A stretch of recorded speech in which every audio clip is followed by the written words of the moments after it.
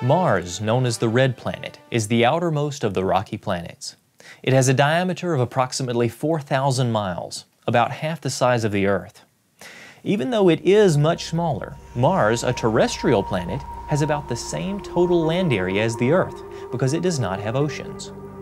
The atmosphere there is extremely thin and is composed of almost 95% carbon dioxide. The temperature there?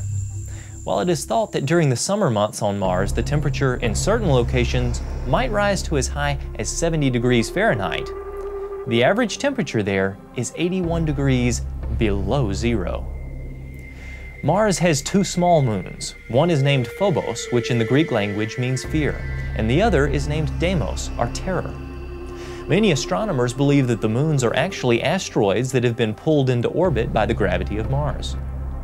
Rising 88,000 feet above the surface of the Martian planet is a massive mountain, Mount Olympus, almost three times the height of Mount Everest here on Earth.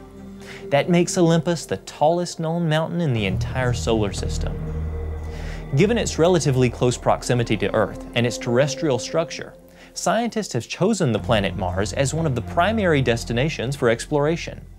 Technologically advanced Martian rovers have traversed the face of the desolate planet, exploring its rocky terrain and searching for clues that might point to life. No traces of life have been found to date, which confirms that Earth is a pretty special place.